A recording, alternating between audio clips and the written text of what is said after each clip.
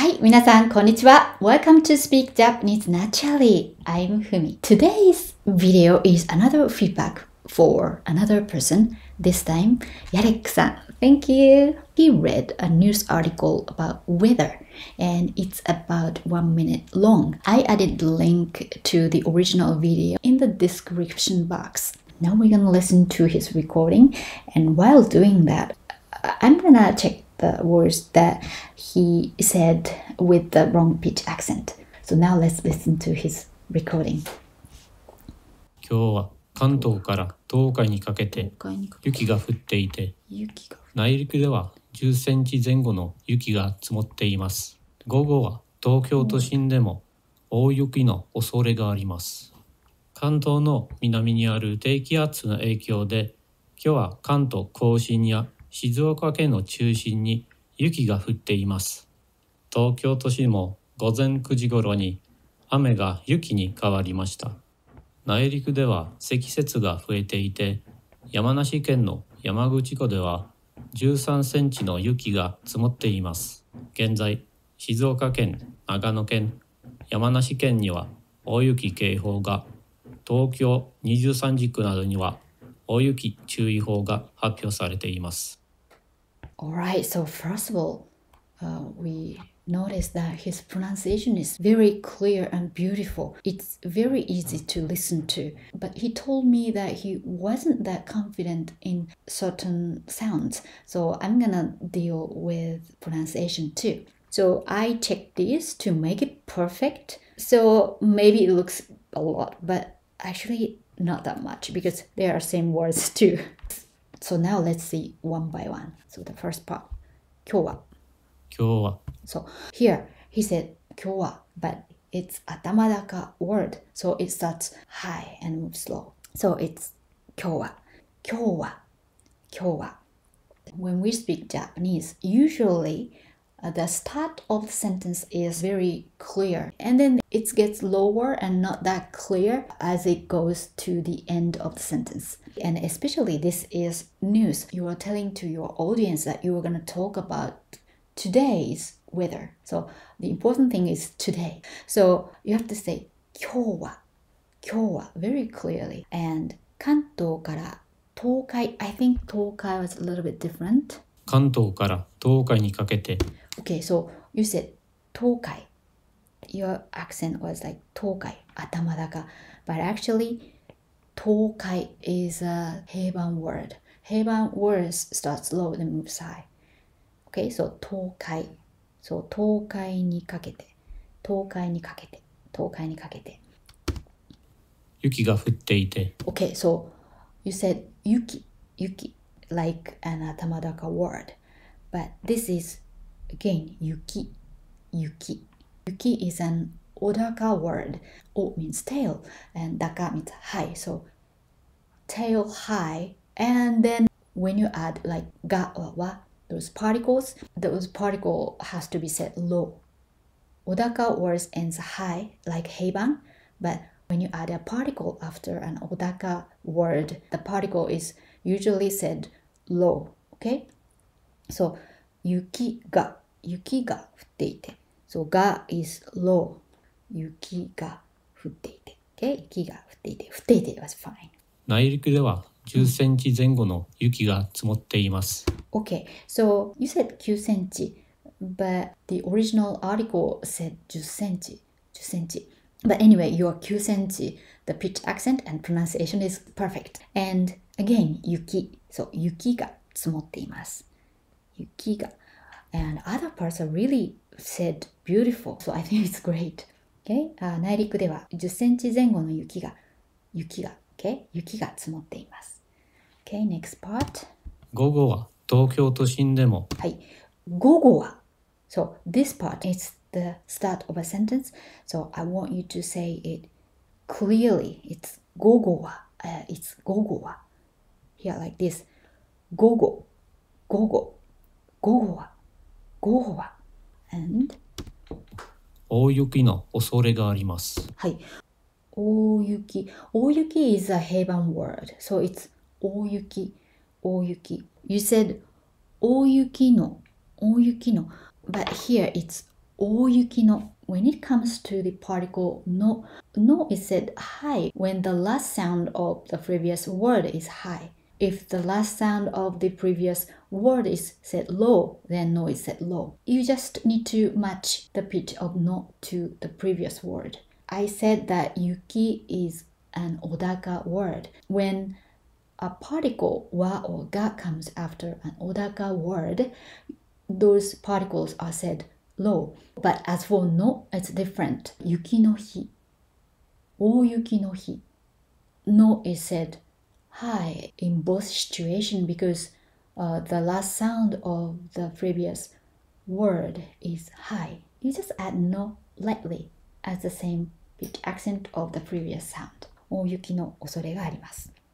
大雪の恐れがあります。OK? 関東のみ OK. 関東。関東 is again 頭高。So it's 関東の。関東の。OK? 南にある低気圧の影響で、今日は関東甲信や Okay, so this time 今日 sounded a little bit shorter than necessary. Uh, so it's 今日。今日は。今日は。And 静岡県の中心にはい。県 has to be low. 静岡県。静岡県。静岡県。静岡県。Shizuoka ken. Okay, so when you add ken after a prefectural name, always ken is low.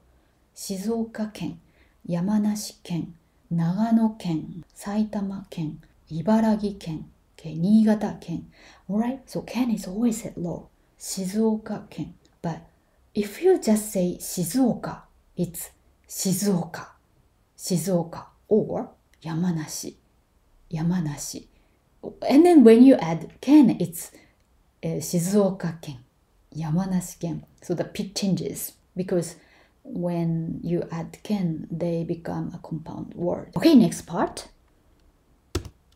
雪が降っています。はい、again, 雪が。Okay, 雪が。東京都心もうん。東京都心も。Here, it's 東京都心も。東京都心も。東京都心も。東京都心も。東京都心も。はい。午前9時ごろ午前ですね。It's 頭高 word. It's 午前。午前。午前9時頃に。午前9時頃に。時頃に雨が雪に変わりました。はい。雨が雪に、雪に変わりました。雨が雪に変わりました。はい。内陸では積雪が増えていて、はい。内陸では積雪が、OK、積雪が増えていて、増えていて、えっ、と、内陸では、えー積雪が、積雪が増えていて、OK、増えていてですね。積雪が増えていて、積雪が増えていて。So again, this 積雪 is an, a Heiban word. 積雪が増えていて。山梨県の山口湖でははい、山梨県の川口湖では、あ、OK, so here, he said 山、川、えー山、山、but it's 川。山 is mountain and 川 is the river. So here, this part, it's 川。川口湖では、はい。13センチの雪が積もっています。はい、えー雪が積もっています。はい、雪が積もっています。And? 現在、静岡現在。現在 is a, an 頭高 word. 現在。現在。静岡県、長野県、あ、長長野県。はい。長野県。長野県。長野県。はい。山梨県にははい。大雪警報がはい。大雪警報が。Okay, so 大雪警報が。大雪警報。大雪警報。If 警報 comes only by itself, it's keho, keho, like you said, keho. But when Oyuki and keho get together, they become a compound word. And compound word is one word. And there's a rule that in one word, uh, once pitch drops, it never goes up again. So if you said o, Oyuki keho, that means the pitch drops once.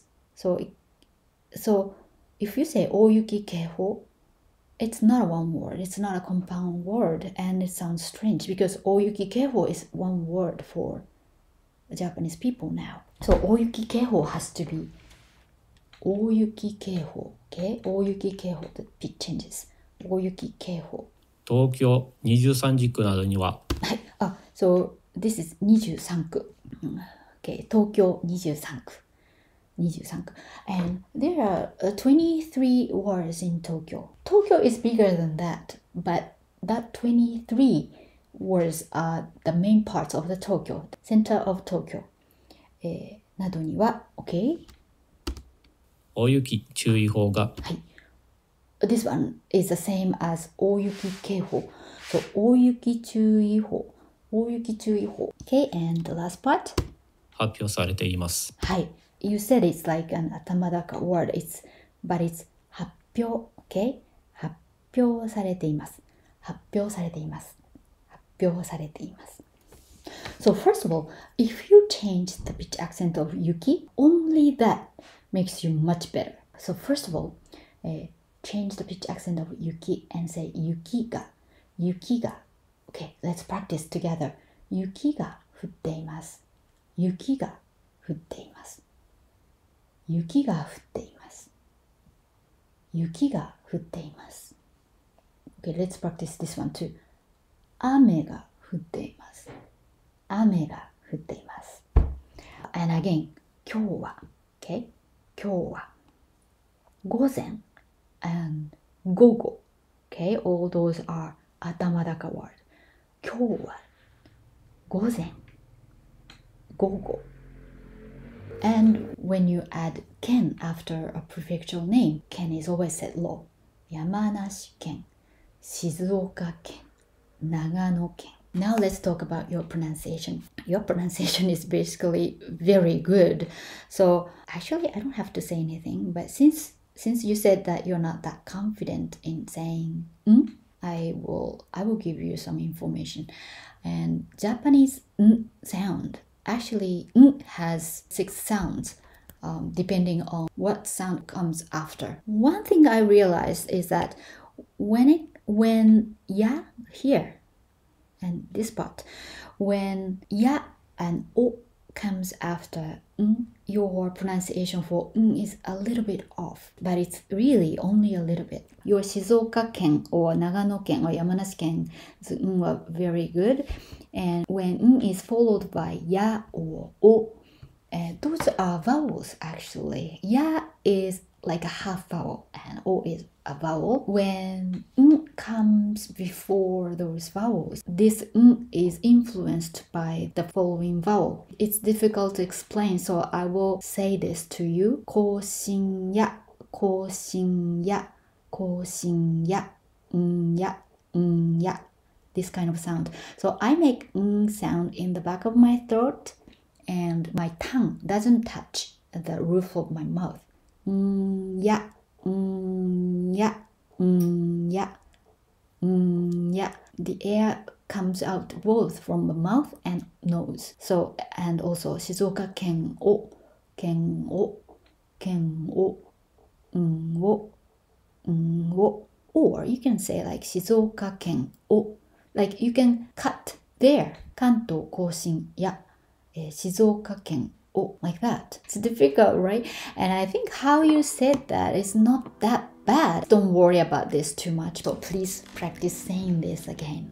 Again, again. Okay, so that's about it for today. And thank you, Alex-san, and thank you for watching this video. I'll see you in the next video soon. Bye! またね